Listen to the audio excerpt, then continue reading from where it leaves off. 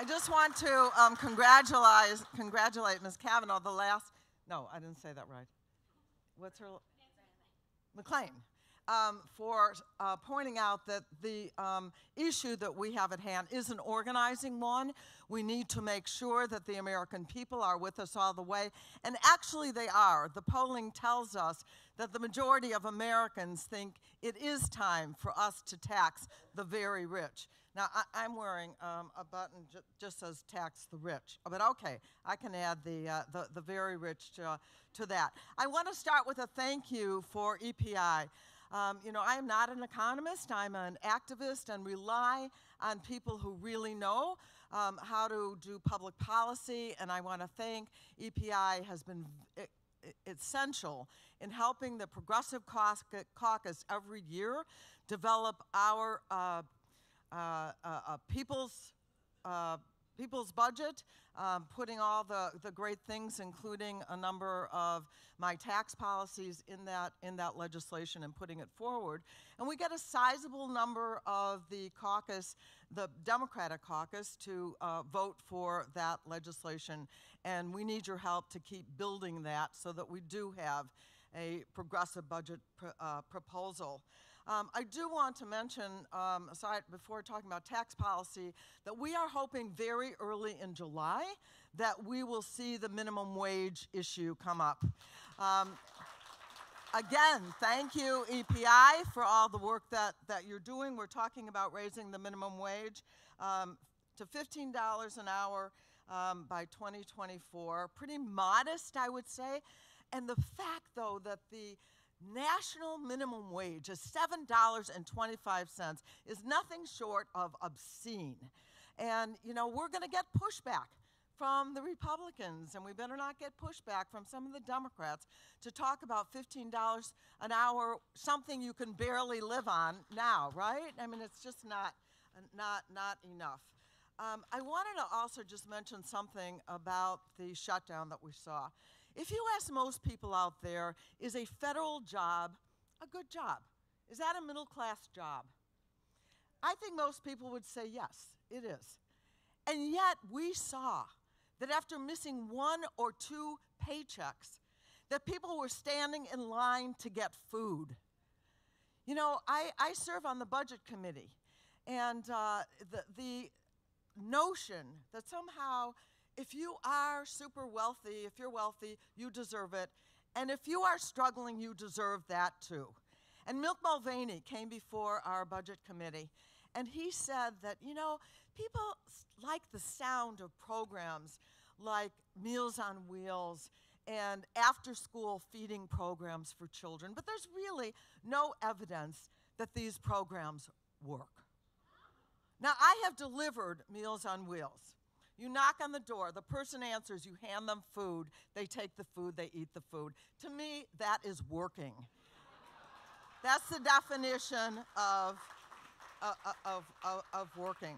So when they did this, blew this $2 trillion hole in the budget, their solutions are things like going after entitlements, not they're the ones that feel entitled. These are earned benefits of Social Security and Medicare, way too much money being spent on, on that and other vital programs.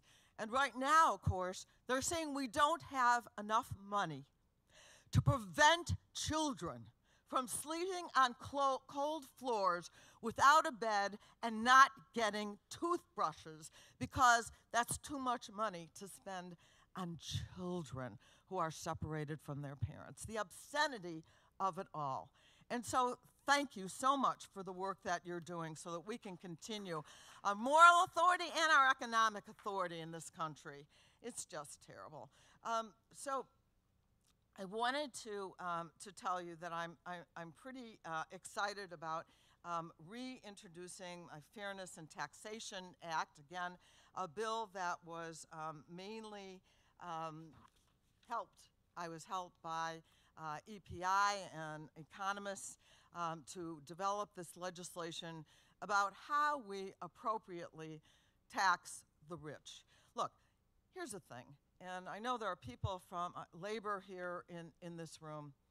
We, would not have a middle class at all, ever would have had a middle class, had there not been organized labor fighting for good wages and good benefits and a good and, and a uh, and a good life. And that, of course, is the reason why Republicans go after organized labor.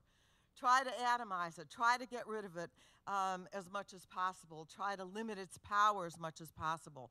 But I also do want to tell you that we are looking at labor law reform in a serious way to empower organized labor once again, to revitalize the middle class. It will not happen. We're dealing um, with the trade deal right now, um, and in that context as well, we're fighting to make sure that workers, um, that we don't that we don't uh, pass some sort of a trade bill that actually encourages outsourcing by underpaying and having no rights for Mexican workers as well. So we have a lot of fronts to, to fight on, but I do want to talk to you about the Fairness in, in Taxation Act, and I'm going to walk through some of the exciting updates that, that I'm doing on that. Um, I'll also be introducing, I'll get back to the fairness in taxation, I'll, also be introducing another bill for uh, the same reason, to fight inequality, with Senator Van Hollen, um, and I know that he is uh, planning to, uh, to be here today. I'm going to let him go into the details of the bill, but I'm so proud to be the House sponsor of Senator Van Hollen's legislation. So when I reintroduce the uh, Fairness in Taxation Act, um, this time with Alexandria Ocasio Cortez. And I am very proud to be working with her. She's a bold progressive, doesn't shy away, doesn't back down, doesn't uh, fold to uh, the kinds of criticisms that you can expect would be leveled at her. And I'm proud to be with her. And it will include a top uh, marginal tax rate of 59%, which would come right up to that 72% top um, um, optimal tax, uh, marginal tax rate um, that advocates uh, have been advocated for by the Diamond Saez uh, paper, um, which would combine the state and local taxes in places like Illinois and, and New York. So that would bring us up to that 70 plus uh, marginal tax rate. Yeah. Don't be afraid of it. Nobody can be afraid of it. It will also include a 45% marginal tax rate on income above uh, a uh, million dollars. It will also, um, uh, I'll also be adding two sections to the bill. One to deal with capital gains and the carried interest uh, loophole, and the other to deal with inherited wealth. So we all remember when candidate Trump promised that he would repeal the carried interest loophole and uh, restore fairness to the tax system and repeatedly mentioned it as a part of his tax reform agenda. I mean, there's a lot of things we remember what he said, and uh, hardly anything that he has uh, really, really done except help enrich himself and the family and other uh, people of wealth. Um, Somehow, uh, yeah, that part of the agenda never took hold. Um, the carried interest loophole is a symptom of the broader disease that has infected our tax code for far too long. Simply put, our tax code makes it easier for the rich to get richer and harder and harder for poor and middle class Americans to get ahead. And now is the time um, for um, just more work to, uh, to be done on our tax code, and I believe that we can do it. This is the moment. Um, the um, preferential treatment for capital gains allows wealthy individuals to amass wealth for years and years without ever being taxed. Under the updated bill, uh, bill text, treatment of capital gains will be made fairer. Capital gains and dividends uh, and dividend rates will match ordinary income rates in the current tax code.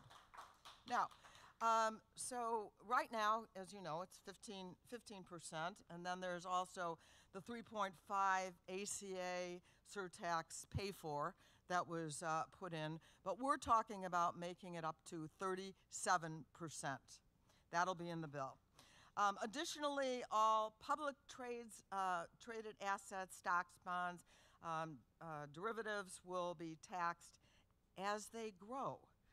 The economists here will call that mark to market, but I just want to suggest another idea that I think is more in, uh, understandable um, to people, and that is pay um, that that as pay as you grow. Think about that as as maybe something that will um, ring better with uh, with ordinary people. Let me know what you think of the pay as you grow idea. Anybody like it here? Pay as you grow. Okay, good. I'm gonna take it as a yes. Okay.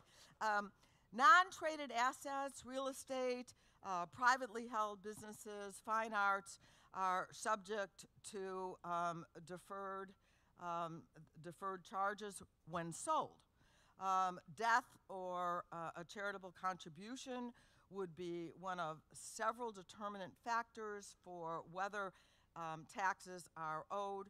We would allow, in my bill, for um, taxpayers to have a lifetime exclusion of up to $750,000 on the pay as you grow capital gains so we don't penalize ordinary folks. This would um, allow for teachers, firefighters, other working people to save for their retirement. The third section of the bill deals with inherited wealth. We would implement what many economists call an inheritance tax. Um, we would exclude the first $1 million on any assets inherited by uh, an heir, and after that, every dollar is treated as regular income as defined by Section 1 of the, uh, of the legislation. This means it would be subject to payroll, um, payroll taxes as well. And as we work like that, good, okay, need your help. As we, uh, as we, and, and, and I want to say something. We have, we will welcome all of your suggestions. I mean, you are really the experts that are here in this room, and I have always welcomed that, and I will continue to welcome that. And as we uh, work on the legislation, I would, as I said, welcome um, the, the feedback. My staff is here, and I know has spoken with many of you in the past about this, and I couldn't appreciate it more. So the, the, the tax, the, uh, the rich crowd, is, uh, is really my base.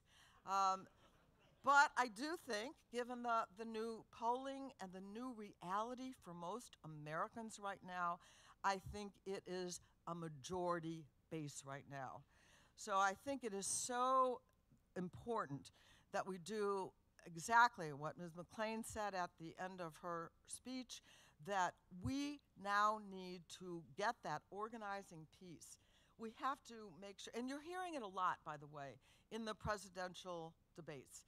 And I really, really welcome that. I think we're gonna we're gonna start seeing it. Um, is it uh, tomorrow? No, Thursday and Friday. We're gonna see those debates. I want to judge my candidates by the um, proposals that they have, the commitment they have to economic equality in our country.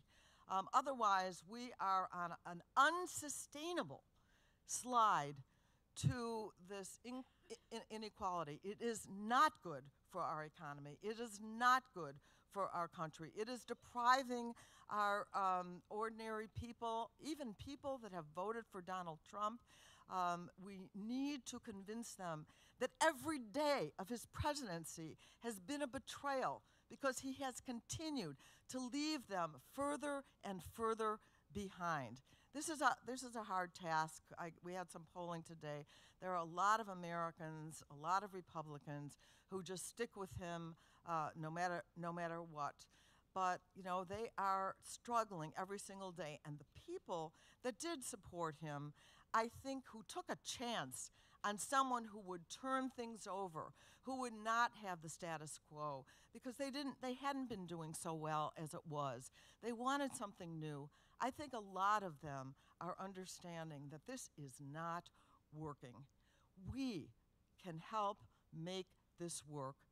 And there is nothing more important than making sure that Americans can live what used to be a believable American dream, which is not lavish.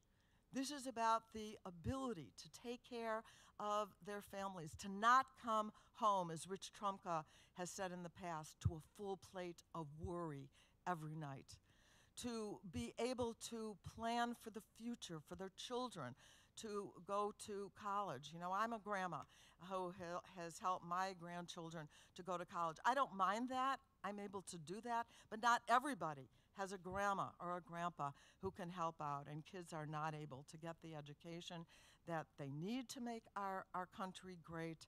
Um, we, we need to include immigration in a fair economic agenda too, because the influx every generation of people who renew this country, who make our country great because they come to the United States of America to work hard for us. All of these things, these moral things, these proper economic things work together. That's what EPI has been about for such a long time, and I thank you from the bottom of my heart.